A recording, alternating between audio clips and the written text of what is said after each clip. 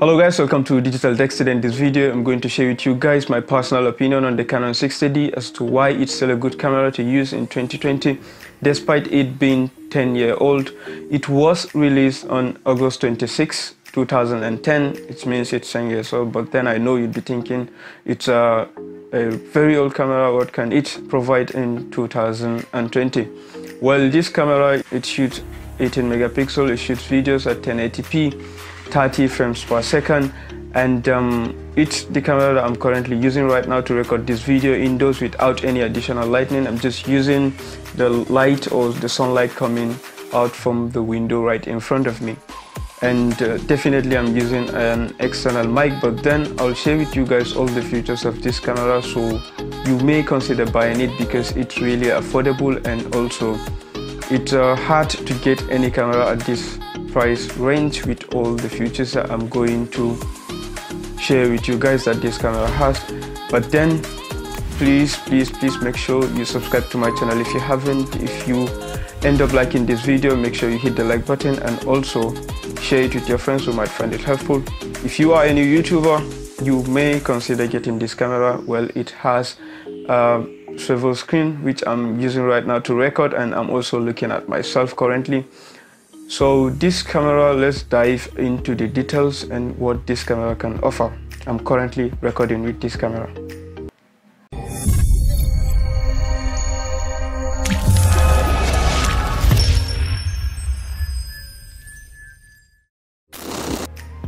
Okay, the Canon 60D shoots up to 1920 by 1080p, which is still a really nice resolution, even in 2020 at 30 frames per second.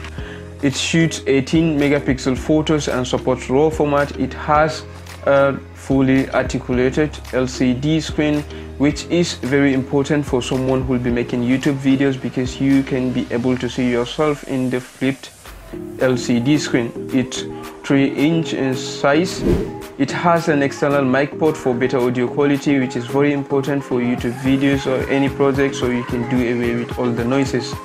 External mic support and flip-up screen are one of the most important things that recent cameras don't have altogether, not to mention environmental sealing, which means it can withstand some splashes of water or some harsh environmental conditions, but that doesn't mean it's waterproof.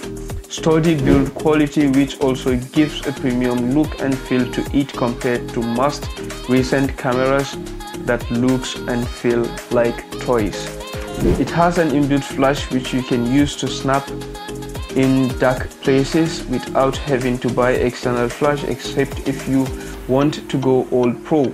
I personally don't have to buy external flash and it supports wireless remote for taking shots and starting and stopping video recordings Getting one so far made my work easy as I no longer have to worry about cameras shaking or taking shots or stopping and starting a video. It happens sometimes even when it's on a tripod. Touching that start button and stop shakes the video or shakes the image. So it has an external flash shoe or sync port too, which you can use to mount other things to your camera like mics or lights with other things. The sync port allows external flash to connect directly to your camera just by attaching it. It has a top LCD display at the top which helps make changing image or video settings easier. Its battery is one of the strongest rated 1800 mAh and can take up to 1100 images per charge. The battery it comes with lasts long in a single charge. Of course, if you planning to shoot for longer period, you'll need extra batteries, but for images 1800 mAh battery can last almost a whole day for you. So let's get into the cons of the Canon 60D. Since the Canon 60D isn't the perfect camera, it must have some limitations which involves it not being able to shoot at more than 1080p 30 frames per second but you can shoot 720 at 60 frames per second but 720 really isn't up to standard for me in 2020 though it depends what you'll need higher frame rate or fps for most movies are shot at 24 frames per second or 30 maximum You'll need higher FPS for smooth slow motion scene at a higher resolution.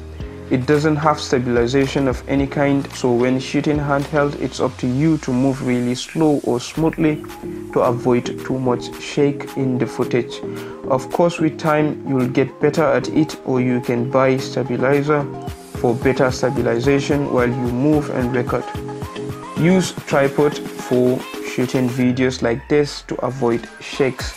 It doesn't have touchscreen and no wireless connection. And here uh, are samples of images I took. If you are considering buying a high-end camera except if it's for something else that will require upgrade, I'll advise you stick to your 60Ds body and invest more in buying lenses and other gears.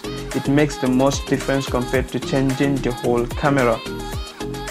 So if you're wondering as a new YouTuber whether to buy the Canon 60D, definitely go for it and invest more in lenses and your ability to create or take photographs. Please, if you haven't subscribed to my channel and you like this video, make sure you hit the like button underneath this video. Subscribe to my channel for more interesting videos and uh, also share with your friends. I love you guys so much. Do have a nice day.